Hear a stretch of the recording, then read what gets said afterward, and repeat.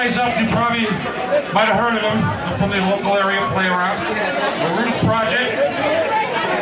Got Bruce Barbini on bass, Mark Z on guitar, and their guest, Mr. Tony Musto on the drums. They're gonna rock you, believe me.